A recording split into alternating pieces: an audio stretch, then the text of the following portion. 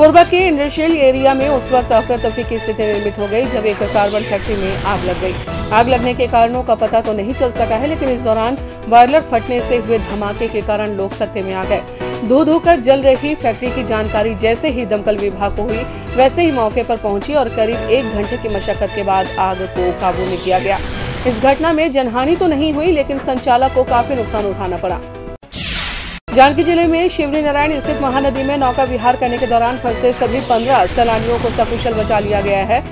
SDRF, Shivri Narayan police के साथ ही स्थानीय लोगों की सहायता से लोगों का रेस्क्यू कर सभी को सुरक्षित बाहर निकाला गया। फिर स्वास्थ्य परीक्षण के लिए सामुदायिक स्वास्थ्य केंद्र में प्राथमिक जाँच के लिए भेजा गया। बताया जा रहा है कि देर शाम सभी सैलानी नौका विहार के लिए निकले थे। इस बीच मौसम के खराब हो जाने से सभी नदी में फंस गए थे।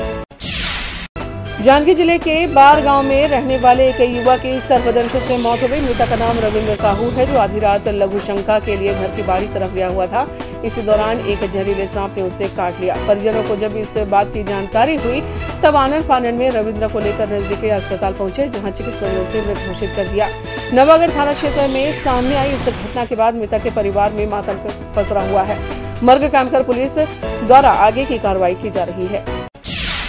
बुधवार स्थित आदिवासी शक्तिपीठ में आयोजित आदिवासी महापंचायत में शामिल होने प्रदेश के आबकारी व वाणिज्य कर मंत्री कवासी लखमा कोरबा पहुँच चुके हैं। उनके साथ आदिवासी नेता नंद कुमार साय भी पहुँचे हुए हैं। एनसीडीसी स्कूल स्थित हेलीपैड पर उनका हेलीकॉप्टर उतरा। इस दौरान राजस्व मंत्री जयसिंह अग्रवाल समेत अन्य कांग्रेसी नेता मौजूद रहे, जिन्होंने दोनों ही मुख्य अतिथियों का जोरदार स्वागत किया। दोनों ही नेता आदिवासी शक्तिपीठ में बने नवनिर्मित भवन का लोकार्पण करेंगे। इसके साथ ही आदिवासी महापंचायत के कार्यक्रम में शामिल होंगे। मानिकपुर चौक के अंतर्गत कृष्णानगर में बीती रात मानसिक रूप से विक्षिप्त एक किशोरी को इधर उधर भटकते हुए देखा गया। लोगों की नज़र जब उस पर पड़ी, तब डायल एक को सूचना दी गई। सूचना मिलते ही एक सौ बारह की टीम मौके पर पहुँची और किशोरी को पुलिस चौकी ले आई। पूछताछ के दौरान कोई किशोरी कोई संतोषजनक जवाब नहीं दे सकी। यही वजह है कि पुलिस ने उसे मिनी माता कॉलेज के पीछे मौजूद अपना घर सेवाश्रम में सकुशल पहुँचाया गया।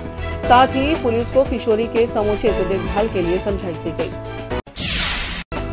जांजगीर ज़िले की शिवनारायण में नगर पंचायत की उदासीनता से तालाबों का अस्तित्व खतरे में दिखाई दे रहा है। पैसों को पानी की तरह बहाकर जिन तालाबों का जीर्णोद्धार करवाया गया, उनकी सूझ लेने वाला कोई नहीं है। पानी की, सूखने की स्थिति में वहाँ कूड़ा करकट डाला जा रहा है। इतना ही नहीं सेप्टिक टैंक से निकलने वाले गंदे पानी को तालाब में फेंका जा रहा है, जिससे लोगों का जीना दुर्भर हो गया है।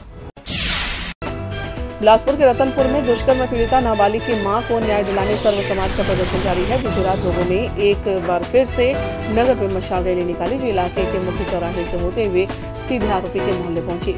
इस दौरान किसी तरह का विवाद की स्थिति निर्मित न हो, इस कारण मौके पर पुलिस बल मौजूद रहा।